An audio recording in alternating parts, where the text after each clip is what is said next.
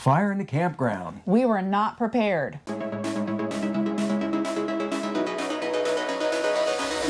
Welcome to the channel. I'm Paul. And I'm Liz, and these are exciting times to push past fear, build confidence, and live amazing.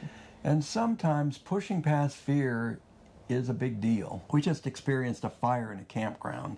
We realized from that experience that we were not prepared. At all. And I think this is really an important video. So, to set the scene for you, we were in a remote area. It was a mile narrow, windy road into our campground, only one way in. Yeah, Rancho Oso, for those of you who know the place. Yeah, in Santa Barbara, but only one way in, uh, one way out. And at 8 o'clock at night uh, the other day, I opened up the door and I said, That doesn't look right. No, there was this big orange glow in the sky, and it was like, That's too big to be a campfire. it's not a campfire. So what we did was we got in the truck and we actually put Mango in the truck too, and we drove down. It wasn't very far. I mean, it was what a quarter mile. Yeah. And what went through our minds, what it was, was some brush burning. Yeah. And uh, we are in a tinderbox. Let you know that that California is definitely a tinderbox. We've heard all stories, and I'm sure you have too. Fire, wind, and next thing you know, a whole hill is on fire. We didn't have a plan in place for, for that type of uh, situation, and, and uh, They actually closed that road, and so they could allow the fire trucks to come in. Yeah, while we were down there kind of gawking at the fire, uh, one of the rangers drove up and, and saw us and said, the gate is closed, you can't leave. I understand why they did that. It's, you know, it's a narrow road coming in and the fire trucks hadn't arrived yet. So they didn't want anybody going out that road and, and causing a problem for the fire trucks trying to get in. We realized that we need a plan, and so we've made one, and we're going to share that with you because I think whether you're camping for the weekend or you're full timers, every time you go to a campground, you need to check a few boxes to make sure that you're prepared because we have heard about fires, and I'm sure you have too, where you're running for your life. And we, if we'd had a plan in place, I think we would have felt better because what went through our mind was, you know, are we going to have to abandon our camper? What are we going to do? Right. And we were prepared to ba- abandon our camper, of Oh, yeah. course, you yeah, know. we would have left it behind. I mean, uh, you know, the camper's replaceable, lives are not.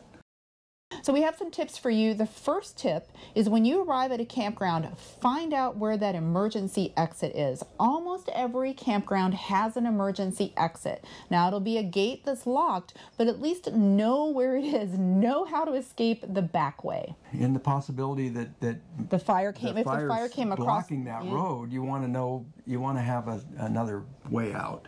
Right. And that brings us, you know, to the point that you may need to leave your rig behind. So you need to have a go bag packed. And what should be in your go bag? Passports, your driver's license, your ID, any important papers that you have. Cash, Yeah, you want to take cash if you've got it on hand. And, a little bit of food and water, maybe a handkerchief to cover your face. Yeah, face covering. Yeah, yeah, that would be a good thing if you've got them, and everybody's got those nowadays. right.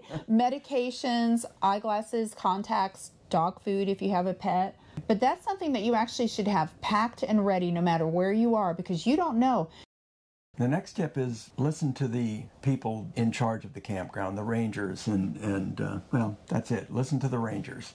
Yeah, let them be your guide as for what to do. They're going to have a plan in place. Most likely, they've practiced and run through some drills for this exact situation. Yeah, I'm sure this isn't their first rodeo. The next tip is to stick together, and that's actually something we did right. Yeah. When we went down just to even look at the fire, we brought Mango with us because we didn't know if it was going to go crazy. You want to keep your family together. You don't want to have to, in the midst of what could erupt into a crazy, chaotic situation, you don't want to be looking for members. yeah, you, you definitely want to know where everybody is at every moment.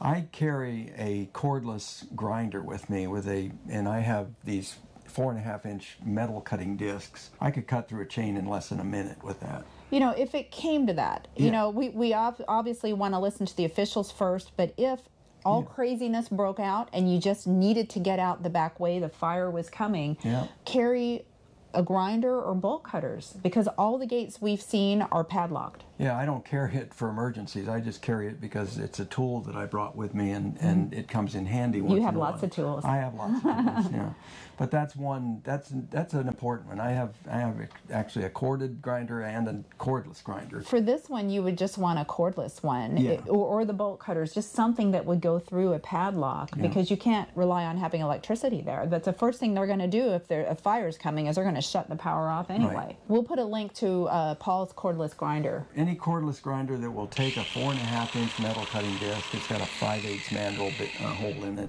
Hopefully, it'll never come to that. But you know, we didn't like the idea of being trapped and not having a way out. And you know, who knows what could have happened, and there not have been an official letting us out of the gate.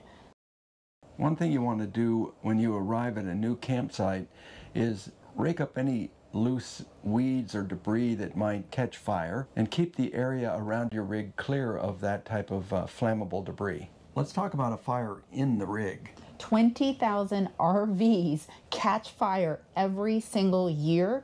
We have seen the aftermath of that. Your rig can go up like that. Yes. So, we have some tips for you for inside. Yeah, you want to keep fire extinguishers handy. We received a very important tip from one of our viewers, hi Trish, where she had a fire in her kitchen and she couldn't see her hand in front of her. Yeah, and, and it was a matter of seconds. I mean, Right. So you need to be able to feel your way to where that fire extinguisher is because you may not be able to see it. Make sure that everyone in your rig knows where that fire extinguisher is.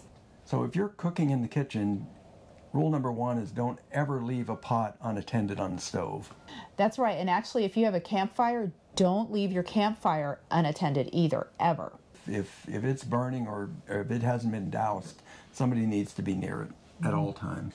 Try and avoid using a space heater. If you have to use it, try and avoid using an extension cord. It draws a lot of amps, and amps is heat. Too many amps for too small an extension cord is a bad thing. It can cause the extension cord to melt, and which would cause a, a short, which could cause a fire. So let's talk about extension cords. They come in different wire gauge. The standard household um, extension cord is going to probably be a 16 gauge wire. There's a the next step up from that would be a 14 gauge wire. The next step up from that would be a 12 gauge wire. And the 12 gauge is what you'd want for a space heater. Yeah, right. I you would want I would use a 12 gauge if I were powering up a, a space heater. always check your smoke detector. You want to test them, you want to make sure that they're working. A huge thing for people like us, especially full timers, is to know where you are. Now that may sound obvious, but if I had to call 911 right now, I might be fumbling around looking for the address of where we are. We move every two to three weeks. So we know people, and this is probably something we should start doing, who every time they move, they write their address down on a card eh, or they enter it into their phone so they know right where they are because you might need to be telling 911. Yeah, or put it on a post-it note and stick it on a cabinet door where you you will know where it's at. Even if you don't have service on your cell phone, surprisingly, 911 could actually still work. So do give it a try. And of course, you will need to know your address. So, what fire safety tips do you have? Let us know in the comments. And we'll see you in the next video. See ya.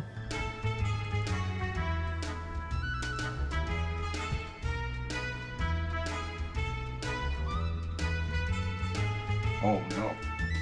Fire.